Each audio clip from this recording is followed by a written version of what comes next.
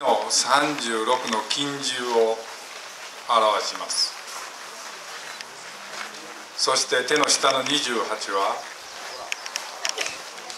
星を表します。28宿になります。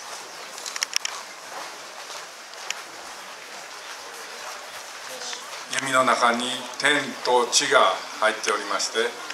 天地和合の弓というふうに言われることもございます。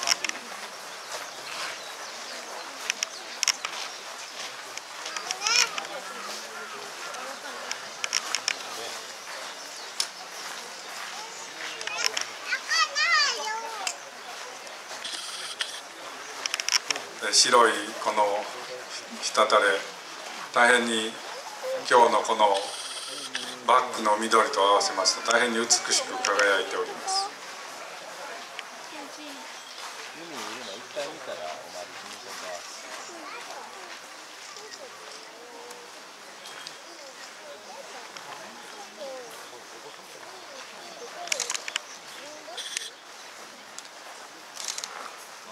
この姿でございますが弓矢は当然なんですが手には先ほど言いましたがけ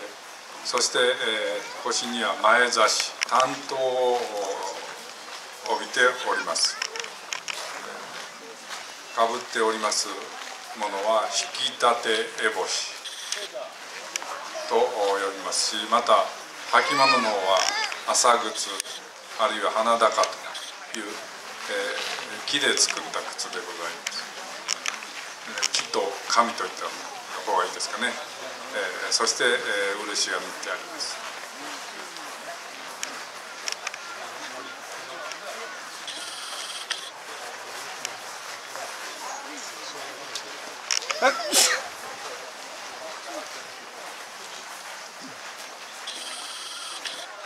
先ほど一手というお話をいたしましたが今2本の矢が左手に預けられております。1本をつがえて1本を反対方向に酒場を打つというんですが2本の矢を持ってましてその1本を取ってこれより1本目の矢「早」と言います「早」というのは「甲の矢」と書きます「早」をこれより引きます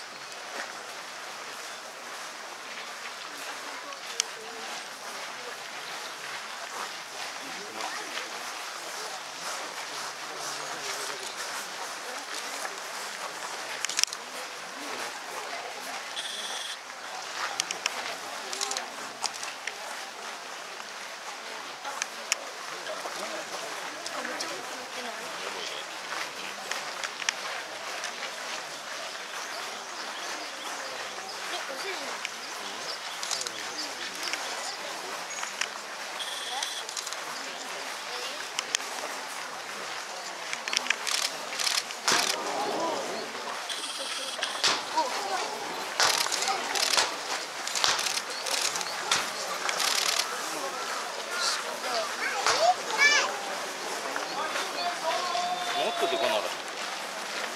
見事に、えー、早が放たれました。はいえー